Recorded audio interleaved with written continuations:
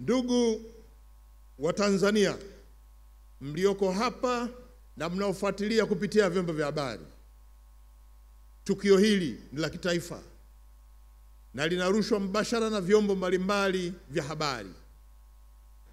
Tukio hili leo, mgeni rasmi ilikuwa awe Mheshimiwa Dr. Samia Suluhu Hassan, rais wetu wa Jamhuri ya Muungano wa Tanzania.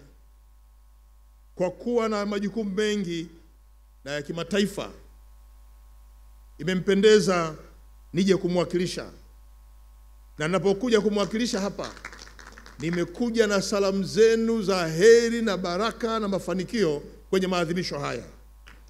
Naomba sasa wanarufiji mlioko hapa, pokeeni salamu hizi kwa makofi mengi sana, aone kule aliko kupitia vyombo vya habari.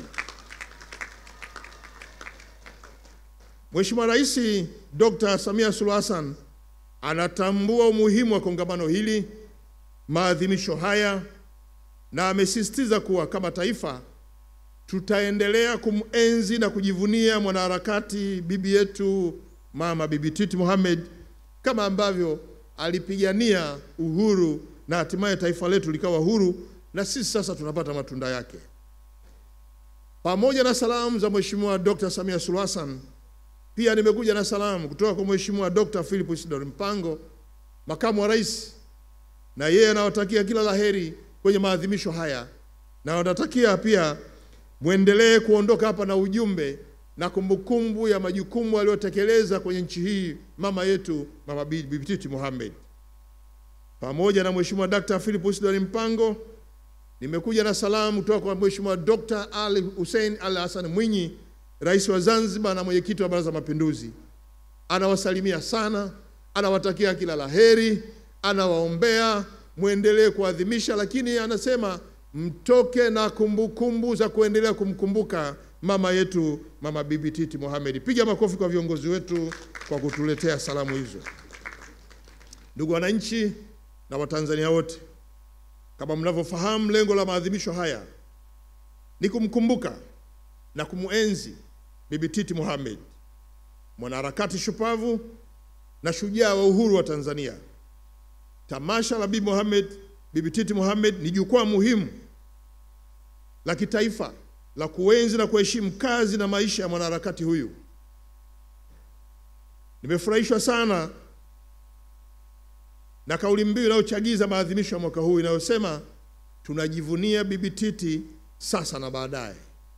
Nawapongeza sana kwa kauli mbiu hii ambayo imeweka msisitizo kuwa swala kumwenzi Bibi Titi ni la kudumu, na huu ni ukweli kwa kuwa historia haiwezi kubadilishwa kazi za haiwezi kubadilisha kazi za Bibi Titi Mohamed na kazi zake zitaendelea kukumbukwa daima. Na katika hatua nyingine, kauli mbiu hii inatukumbusha umuhimu wa kuwa kuwarithisha vizazi vyetu historia ya wazazi wetu, na historia hii itawezesha pia kumfanya kila mmoja na kuthamini wakati uliopo na kuendeleza yale mazuri kwa kizazi kijacho. Na hii inatokana na ukweli kwamba ufahamu wa historia ya taifa letu una mchango mkubwa kwa ujenzi wa jamii yetu na kukuza uzalendo pamoja na utaifa tulionao. Sote tunatambua kuwa Bibi Titi alikuwa mwanamke jasiri na alikuwa mwanamke aliyokwenda mstari wa mbele katika kupigania haki za wanawake na usawa wa kijinsia. Hatuwezi kusahau mchango wake mkubwa katika kuleta mageuzi ya kijamii na kisiasa nchini Tanzania, na kama kauli mbiu inavyosema, tunajivunia Bibi Titi sasa na baadaye ni kauli mbiu ambayo kila mmoja atakiwa kuimba wakati wote.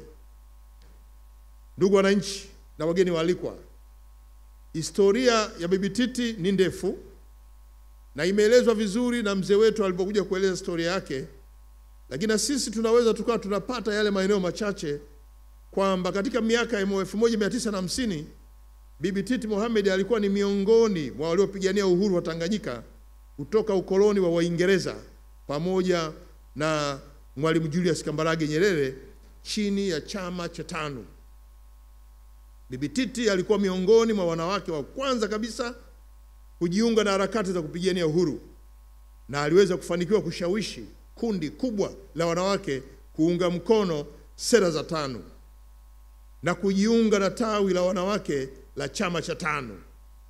na baada ya uhuru, Bibi Titi alikuwa miongoni mwa Watanzania waliopata uwaziri chini ya serikali ya Mwalimu Julius Kambarage Nyerere kwa sababu ya kuthamini mchango wake.